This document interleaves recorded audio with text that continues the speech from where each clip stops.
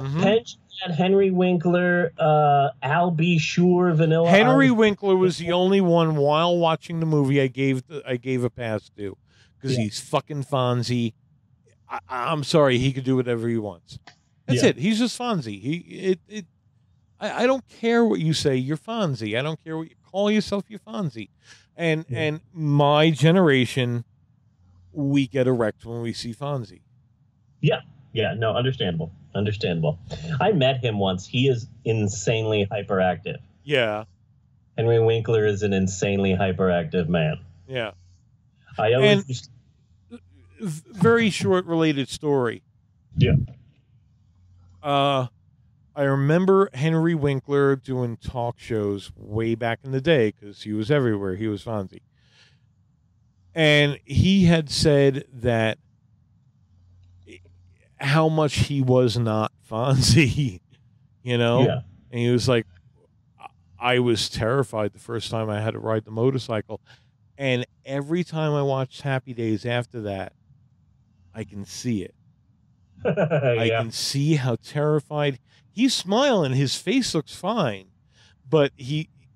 This is where we, he was wearing the blue jacket, the like windbreakery thing when Happy Days first came, the the first episodes, and he's riding into Arnold's on his motorcycle, and he lifts his hands up to wave at everybody, and I could see how high that hand did not get.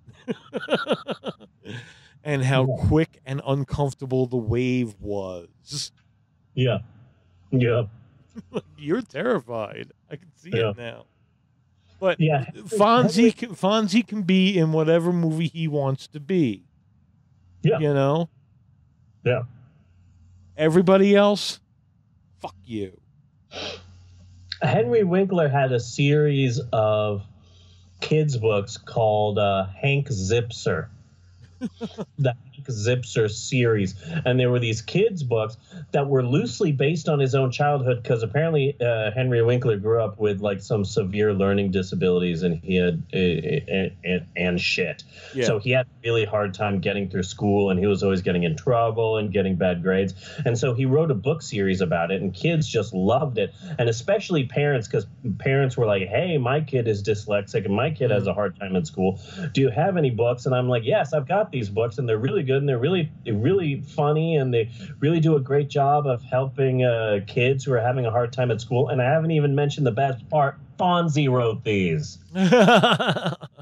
So I would always keep a ton of them in the children's department. And then one day, my store in California was uh, two blocks away from the California State Fairgrounds where they were having a car show. And Henry Winkler was there signing his kids' books. But so many kids showed up that they ran out of books. So they called my store and said, Hi, this is Henry Winkler. I'm looking for my, if you have any copies of my oh, Big Zipzer series, and I said, Ah, I've got a shit ton.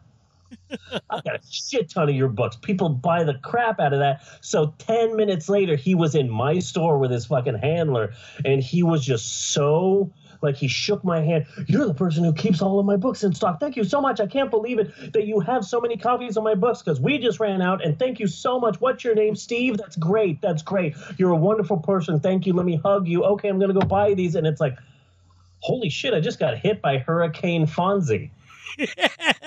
Like that was 30 seconds and you said like eight paragraphs. Like, are you on something? Because that was Mhm. insane. yeah.